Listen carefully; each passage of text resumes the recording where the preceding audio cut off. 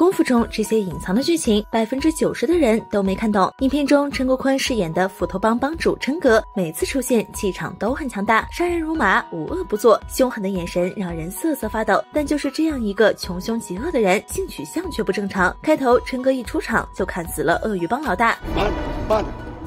你还记得吗？我还请你吃过饭，而且只是随意挥动了两下斧头，就累得大汗淋漓。很明显，他的身体特别虚。接着面对鳄鱼帮大哥这个风韵多姿的女人，他也是轻飘飘的说了句：“啊，走，我唔杀你人嘅，走啦。”可话音刚落，陈哥右手一挥，接过小弟送来的枪，就从背后解决了大嫂。另外，他作为管理至少上千人的黑帮老大，身边竟连个女人都没有。其他小弟在空闲时间还会去潇洒一下。呢个世界一街都系钱，遍地都系女，边个能够下决心就可以争得赢？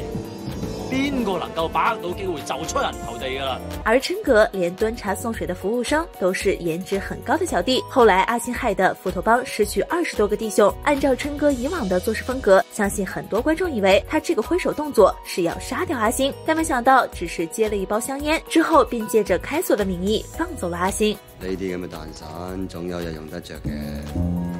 如果说琛哥放走阿星仅仅是为了开锁，那可就大错特错了。影片中，阿星被斧头帮带到娱乐场所，这时可以看到斧头帮军师和几位小弟都有舞女陪着，而琛哥在包间只有一个小弟。其实这里还有一段删减片段，就是阿星加入斧头帮后，琛哥让他稳守的镜头。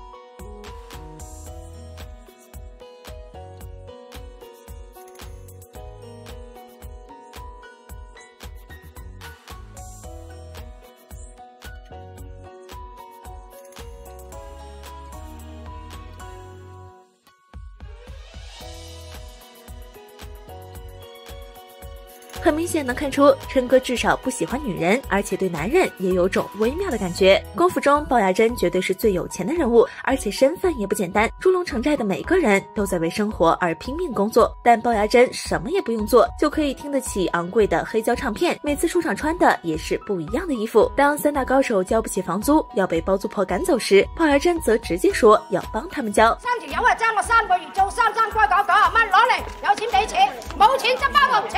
唔使惊，我同佢哋比下。阿牙真，你做嫁娘啦喎，家陣就係做嫁娘得唔得啊？肥婆。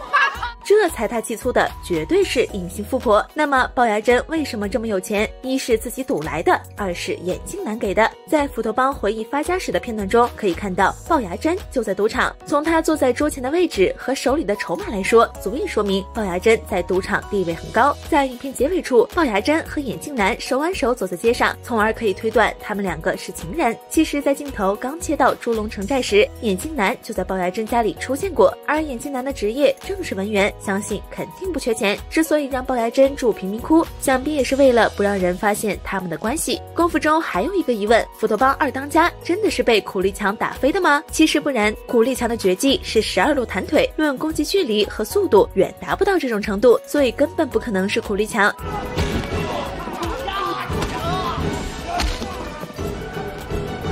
而画面转到酱爆时，见他满脸严肃，汗水不断，很像刚动过手的样子。就单从他三秒钟给阿古剪好头发来说，酱爆才是最能把二当家打飞的人。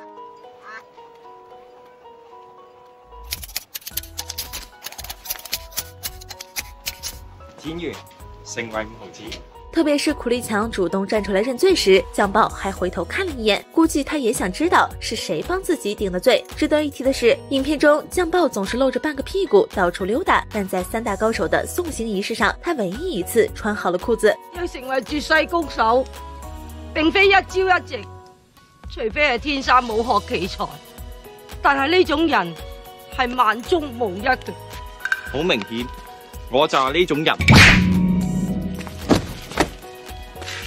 睇嚟佢唔系，证明酱爆还是懂得在关键场合要注意仪容的。功夫中，原来他们两个才是斧头帮的重要人物，只要斧头帮火拼的地方，他们两个都会出现。影片中，他们被称为金牌打手和银牌打手。为了更好的区分，星爷还特意做了一个小细节：胸前佩戴金色手帕的就是金牌打手，银色的则是银牌打手。金牌打手的饰演者丁小龙是李小龙的第四代传人，实打实的练家子。二零零三年，周星驰为功夫挑选演员，丁小龙凭借一手利落的双截棍，顺利拿下这个角色。而周星驰也十分看好他，虽然只是个打手，但在这部电影中的镜头也有十次之多。老头，你很能打是吗？啊？大点，大点，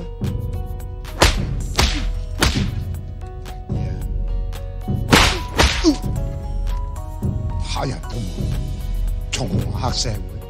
之后，周星驰又让他在《美人鱼》中客串了一回保镖。不过，尽管出演了很多部电影，也没有真正火起来。银牌打手的饰演者名为张明明，毕业于北京电影学院表演系，出道的第一部作品就是周星驰的《少林足球》，饰演反派青年版的强雄。要说观众对他印象最深的，应该就是一三年《封神英雄榜》中的申公豹。或许是因为林小龙的原因，他在功夫中的镜头没有丁小龙多。此外，在这二人身上还有个细节，就是金牌打手永远站在。陈哥的左边，银牌打手则是右边，就连在打架时也是按照金牌先、银牌后的顺序。当然，被打倒也是如此。